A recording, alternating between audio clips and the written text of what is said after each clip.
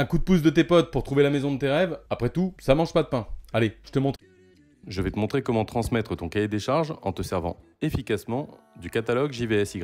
Sélectionne la maison qui te plaît. Après avoir visité, pense à t'abonner. Je te tiendrai au courant dès qu'il y a une nouveauté. Et si t'as apprécié la visite, un pouce bleu, ça fait toujours plaisir.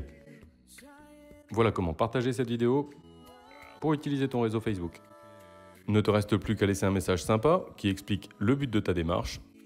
Ce serait quand même dommage que ta maison coup de cœur soit vendue dans ton entourage sans même que tu sois au courant. Alors pour éviter ça, ne reste plus qu'à publier. Si ça fonctionne pour toi, reviens et dis-le moi en commentaire. Allez, à plus pour un prochain tuto IMO.